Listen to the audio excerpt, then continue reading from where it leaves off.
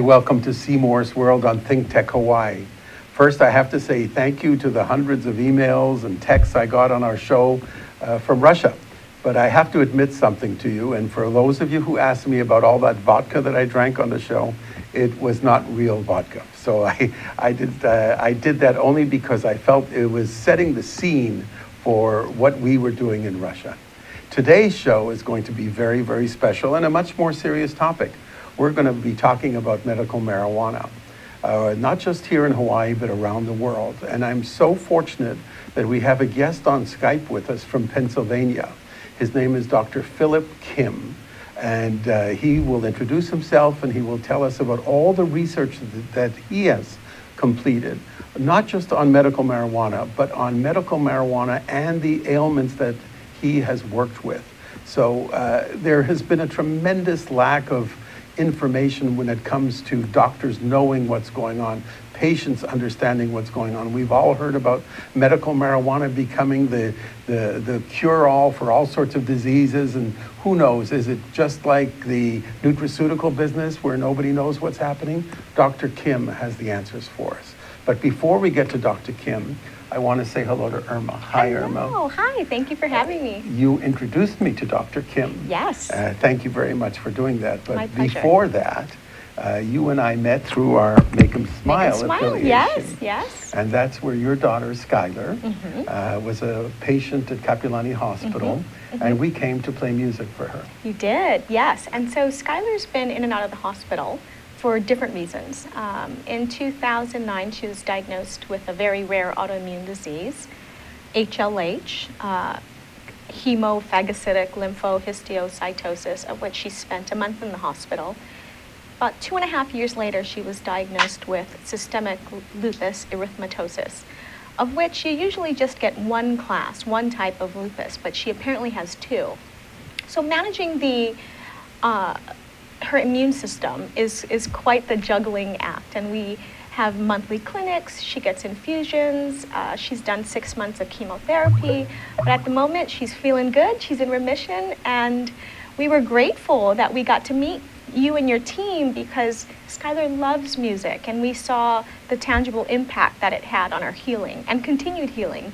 So thank you. I just saw her a couple of weeks ago. Mhm, And this mhm. young lady, she's almost 15 now. She turned 15, 15, yeah. 15, and Mhm. she is so full of life. Even though she has all these medical issues still within her, she still understands how important living life is every single yes, day. she does. She which, does. Which I think it's marvelous. She does. Thank you. Irma, I mentioned to you that I wanted to open up a rehab center here in Yes. Hawaii. And I said to you that I felt that the medical marijuana community in Hawaii should support the rehab center. Now, whether, and you know, we could talk about this all day, but this is a short program. So, uh, whether marijuana is a, um, a uh, gateway drug or not is a question that doctors can answer, Mhm. or maybe we'll, will answer today. I don't Mhm, know. mhm. But uh, when I said that to you, I was so impressed that you immediately knew a lot of the licensees. You were able to direct me to Kauai and to Justin and to Jason. Mhm. And these guys are in the middle of doing what they're doing in the Mhm. medical marijuana community here on this island. I'm, I'm very well acquainted and I've Mhm. done a lot of research for, the, uh, for one of the licensees in Israel to be able to help them understand what Israel has done. Right. But more important than that, all of a sudden I get a call from you. Seymour, I have this friend, Dr. Philip Kim, Mhm. who lives in Pennsylvania, who is doing an amazing amount of research. And thanks to you, I was able to meet Philip and start talking about uh, what we need to do for physicians to understand where medical marijuana fits in. Right. And right now, the physicians I have spoken to, even my brother who's a doctor, Mhm. uh, he, they really don't know. There's such a lack of education. Right. And when I saw the passion that Philip has Which for has. what Mhm. for what his business is all about, Mhm. I said, my God, that is the kind of guy we need to educate a lot of not just the marijuana community, but our educators, our patients, Mhm. our physicians, and our government officials who have to regulate this Right, business. right. So we're going to welcome Philip. Philip, can you come on with us, please? Yes. There you are. Hi, Philip. Welcome. Hi, how you welcome doing? to Hawaii. Hi. Hi, Philip. Now, the first question I have to ask you, how's the weather in Pennsylvania? Not as good as Hawaii, but it's nice. A nice day today. It's a it's a um, uh, Indian summer today, about 70 degrees. Very Good. little humidity, but it's it's great. Good, good. Uh, Well, here in not as good Hawaii, Hawaii. I, I always tell everybody the weather is very boring. You know, it's 80, 85, it's sunny, the trade winds are blowing. Uh, you know, they're, just come and visit, don't come to stay because we have enough people here. It's- But Philip, we want to talk about what you are doing. So Yes. please uh, give us a short introduction. I know you have eight clinics, Yes. uh, and your your specialty is in pain management, if, if I'm correct. yes, that's correct. Uh, Seymour and Irma, uh, I've been um, I'm a pain specialist. I'm an anesthesiologist that's full-time pain. I've been doing it since I, I left my residency and fellowship in 2002. I was a professor at UPenn for a few years. And then I went to private practice and developed a corporation called Center for Interventional Pain and Spine. This is a practice we've grown to about five doctors, about eight offices in the Delaware, Pennsylvania area. And what we do is we, we are basically treat patients with chronic pain. Mm-hmm. And chronic pain has, has been difficulty for many years with the reality that we have patients and we're not able to fix them. I'd love to be able to fix people, but the reality is a lot of people have conditions which are chronic that are lasting them for a long period of time. And so this process has developed as a, as a specialty that will allow doctors in the area to come send us patients. And we do that on a regular basis for all these patients, but we offer many options, whether it's surgery, it's minimally invasive techniques, medications. We try to do a very multidisciplinary approach for patients to help with their condition. And, and part of the, the thing that we've also seen is we also have developed also an integrated medical practice which kind of incorporates with the patients with chronic pain and illness overall. And to me, this has been our passion in our practice, help patients with chronic pain. And so we give the patients that people, the doctors send us to that failed everything else. And then we have options we offer patients. And so for us, the medical marijuana made a lot of sense for us. We have a lot of patients that have these conditions that we try and help with. You know, that is, that's such a, a wonderful short description of it, but I want to go into a little bit more detail. Sure. Uh, medical marijuana itself has been used for uh, many, many years in Europe and Israel, where I studied it. And I, I, I feel that we need people to understand that it's not just smoking pot that, Yes. that, that, that works. Could you explain how you use marijuana for different types of ailments? Yes. It all comes to the understanding that we're now identified, and this all comes from Israel in terms of understanding their receptors and the mechanism, how our body has natural cannabinoid in a system that allow marijuana to work. And the term is medical. Medical marijuana, we understand there are ingredients and, and aspects of the plant itself that can help control conditions. Particularly in chronic pain, chronic ailments can be very helpful. And for me, medical marijuana fits with the idea that, in our practice, we have a, a, a big issue overall with pain medications, trying to find different options and limitations and what's available. And the idea that we have now a new class of medication, a new concept which helps patients is huge. Because we are dealing with an issue in our practice, and our frustration has always been on the opioid issues, addiction problems, misuse, overdose, and we all have personal experiences in our lives. I've had patients have these problems, and we're always looking for an option. And for the last 10 years or so, we are starting to identify with the research in Israel, in the Netherlands, in Canada, which shows that this makes can make a difference for patients. And that to me is where we've now hit into a, a growth period, understanding that we have a lot of patients with chronic pain, a lot of patients on opioids. We have now means of, of giving them other solutions beyond just those medications alone. So if you're looking at um, um, heroin addicts or um, uh, all types of opiate addicts, are you saying that medical marijuana could be a way to uh, uh, to weed them off it, or is it something to be used to to live with what they're doing? How how does medical marijuana help them? It's a concept that we have now, another class of medicines. If the patients who are using this for pain, for their suffering, to give them some quality of life, now we have another means of controlling that without the effects of the opioids. And heroin is one of them, as, as you know. And I believe that in many ways, marijuana is, is in many ways safer than the opioids and, and, and, and heroin. And, and also believe this means a good quality of life. Um, and that to me is where we fit with the medical marijuana. We want more choices for our patients. Right. Now, how, uh, how do you compare it to methadone or to Suboxone? Well, there are different classes. Methadone, Suboxone uh, are types of opioids that we use. Suboxone is a mix of, of, of an opioid we use for, for addiction uh, relief, but we also know those components of methadone can be helpful for pain as well. But they're very different because methadone itself is an opioid. Some of the benefits and also some side effect issues. Why is it taking the federal government so long to legalize medical marijuana? It comes with the history, and I hope that in our next presentation we have a chance to go through some history of medical mar- uh, marijuana in the United States and the, and the world. But it comes to the fact that there's been an ongoing process since the 1930s on the concerns about using marijuana for recreational use. And that's really kind of muddied or clouded the sensation that realized that there are benefits for the for the medication. There are benefits of marijuana we're not seeing because of our past history of this in the last few decades. So is it is it a feeling in your mind that what the what especially here in the US that everybody is looking as medical marijuana as basically a gateway towards recreational marijuana to the selling of of actual marijuana for people who do not need it for medical purposes? Yes and no. I don't believe that there are legitimate people out there, um, including companies, that are looking to use a recreational there may be a future, and the policymakers and the states are going to vote on this, and if that's the way it's going to be.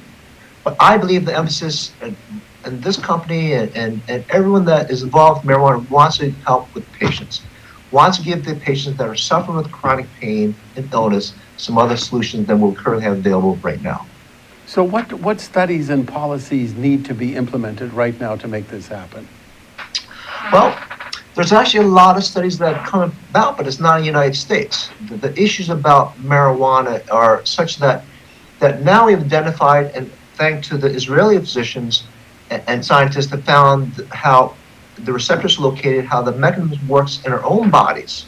These types of uh, endocannabinoids. These are basically the, the types of, of chemicals that naturally release in our bodies to give us life and, and function in our bodies. We now know there are means which we can add medicines from the marijuana plant.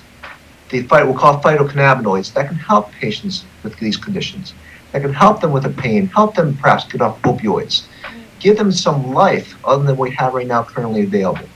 So, do you feel the responsibility of the dispensaries around the country uh, is to educate the patient who walks in the door, or should the patient be educated before he walks in the door?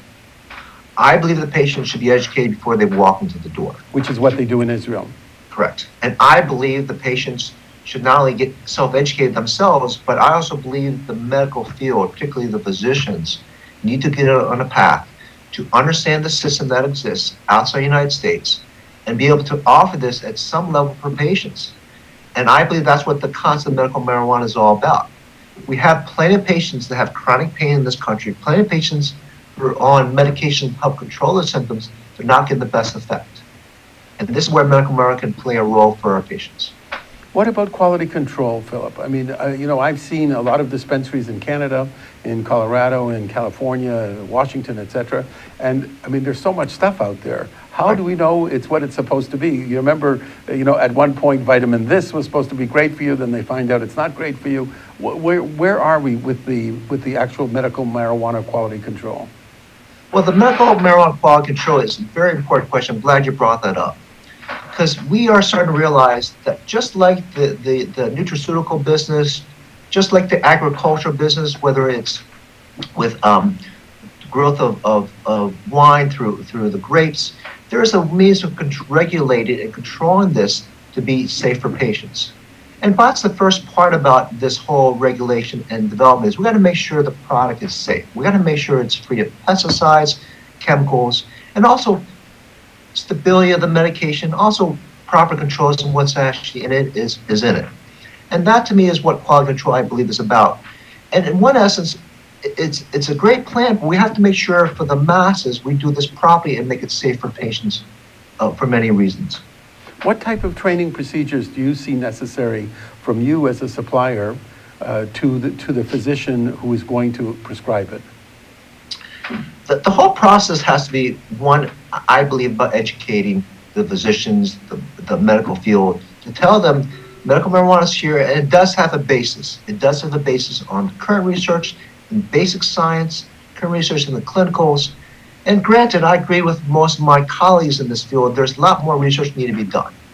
We also have to understand it's, it's just not about medical marijuana that we have to explain to patients. Also, to make sure that it stays in the in the patients, stays with the patients, and it gives them some quality of life. And, and the biggest part about this educating the, the physicians, have to know what's available. Yes, we do need more clinical studies. We do need to deregulate, give us more ability to do these studies to really understand this full impact, full benefit for patients. Wow. Uh, Philip, we have to take a break, but I'm, I'm sitting here on pins and needles with about 20 more questions, and I'm getting calls from, from people who have been watching the show and want to ask you questions. So we're going to come back after the break, and we're going to talk a little bit about the history of marijuana and what uh, your company, Cannabisync, is doing. Uh, I understand you have several locations, correct? Yes. So uh, what, what you're doing on the research side, I'm much more interested in how you're going to make sure that the proper uh, medication of medical marijuana is administered to the patient. That to yes. me is a very important piece. So uh, I want to uh, take a break. I need, I need some water, and I hope you do too. And we will come back to Seymour's World in a moment. Aloha, my name is Josh Green. I serve as senator from the Big Island on the Kona side, and I'm also an emergency room physician. My program here on Think Tech is called Healthcare in Hawaii. I'll have guests that should be interesting to you twice a month. We'll talk about issues that range from mental health care to drug addiction to our healthcare system and any challenges that we face here in Hawaii. We hope you'll join us. Again, thanks for supporting Think Tech. Hi, I'm Stacy Hayashi, and you can catch me on Mondays at 11 on Think Tech Hawaii. Stacy to the rescue. See you then. Aloha! How you doing? It's me, Angus McTech, wishing you to welcome and join us to see us on Hibachi Talk on Think Tech Hawaii. Join my co-hosts, Gordo the Tech Czar and Andrew the Security Guy every Friday from 1300 to 1345. We look forward to see you. We'll talk tech and we'll have some wee bit of fun. And remember, let your wing gang free wherever you be. Aloha! Hi, I'm Donna Blanchard. Hi, welcome to Seymour's World. I'm Seymour Kazimirski, my guest Irma Baptiste. Thank you. And our guest on Skype is Dr. Philip Kim in Pennsylvania. Hi, Philip, welcome back. Hi. Doing? Boy, that first uh, segment was pretty intense because it's, it, you know, we're trying to wrap uh, our hands around this medical marijuana issue. And I know as uh, as uh, not an investor, by the way, but as somebody who wants to use the medical marijuana licensees to help fund my rehab center, I have to make sure they understand that this is such a, a medical issue. So yes. before we get to our slides, one quick question. Uh, the, the, me the medical marijuana that you're using, are you testing it individually for different ailments or are you testing it as a general pain relief? Both. That's, that's kind of the controversy about this. I mean, we, we've been we've known and utilized actually synthetic types of cannabinoids or dronabinol for, for nausea, vomiting. We also use it for pain. I've used this for 10 years for patients for conditions in the United States. But I believe the plant itself is not just one ingredient, it's multiple ingredients that have value for us as, as clinicians for patients. And so that's going to be the, the crux of the future of the research is to identify all the ingredients all things of value for patients, and then really kind of hone in what makes sense for patients. But see, in medicine, we're in the in the mind of trying to find the, the magic bullet for these patients. The reality is it may not be one bullet, it actually may be the shotgun approach within the plan itself that may benefit for patients. That's kind of the, the real issue that I'm interested in in terms of the research and the plans. I, and I know there are a lot of good investigators in the United States are starting to look at that as an approach for patients. All right, cool. All right, we want to show some of the history of marijuana and, uh, and where it's going. So I'm going to ask Zuri to bring up the first slide, which shows uh, medical marijuana is here in Pennsylvania. Now, do you, do you have a license there in Pennsylvania for medical marijuana? No, the, the license in Pennsylvania is still in process. Okay. Uh, as of April of this year, it got approved by the governor, but still in process. And, okay. Uh, and how many licensees will be in Pennsylvania? As far as I know, because I, I really kind of really deal with the more the medical issues Yep. for the company. Yep. But I believe there's about five um, Okay. licenses will probably get out for the state. All right, the next slide is, uh, the- talks about the world history of cannabis. Does it really go back that far into the? Oh, it goes back 10,000 years.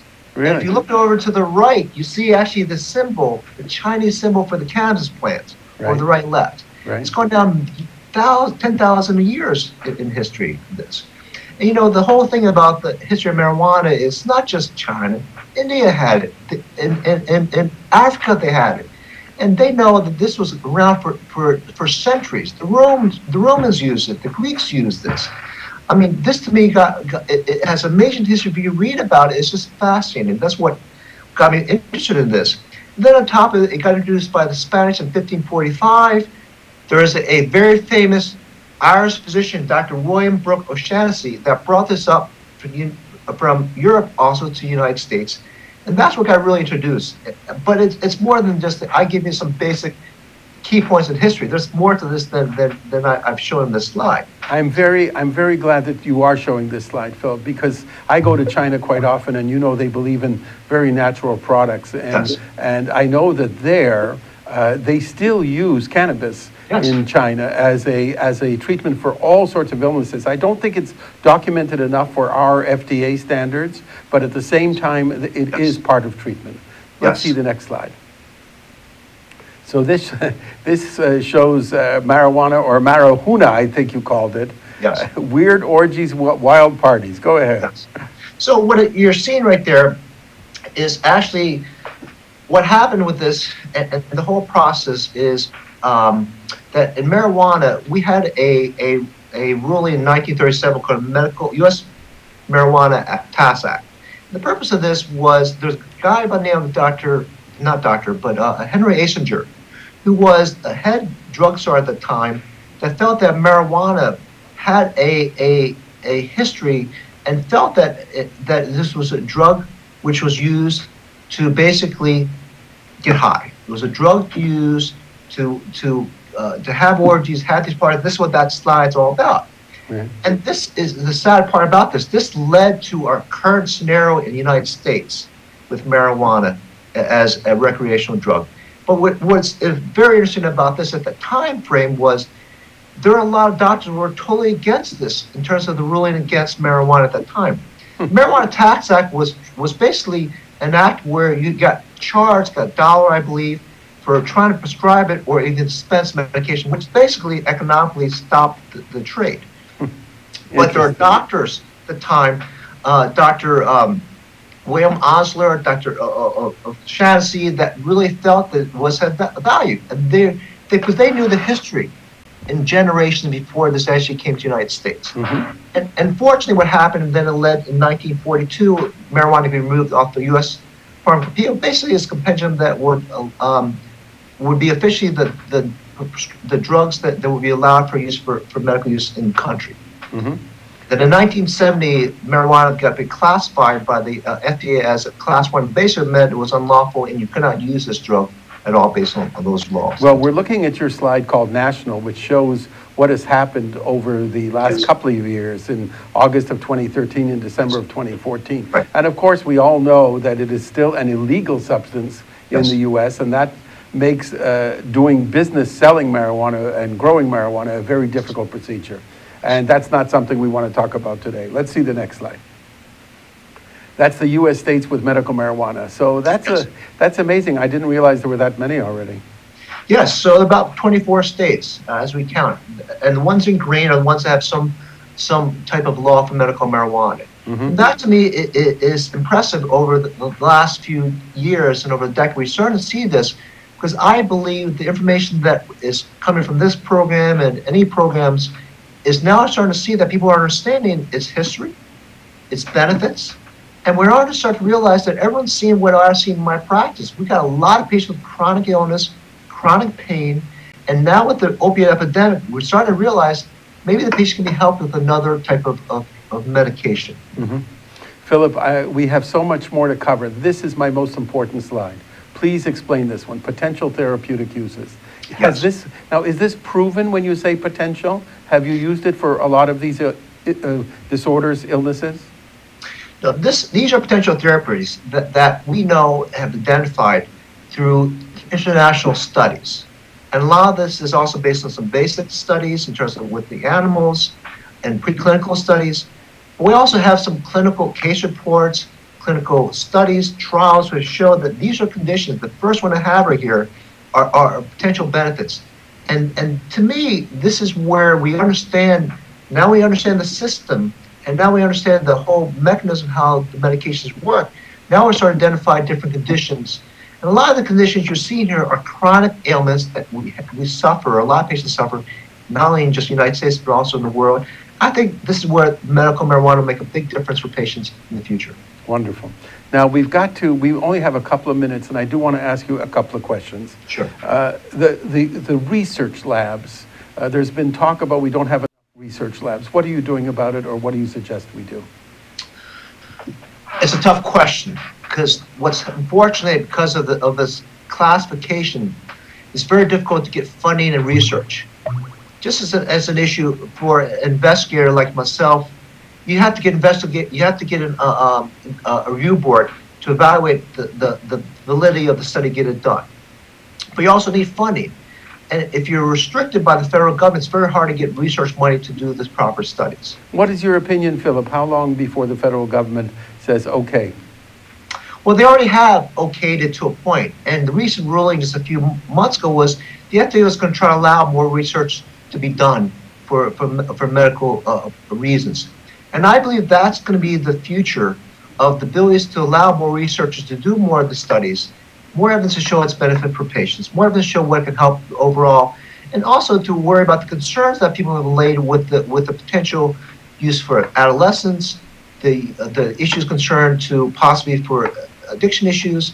There's a lot out there we need to learn about, and we're learning as we go through this. But we like the ability to do more research, and I believe the next few years people are going to start to benefit from marijuana, and we'll find its its use in, in our therapies. I thank you so much, Philip. I'm so sorry. I want to continue this conversation, and I may ask you to come back on the show again if you don't mind. But I'm unfortunately, our, our, our time is limited, and you have done such a great job of explaining where we are with, with medical marijuana. The best I have ever seen, and that's after two or three years of working on it. So thank you. Thank you.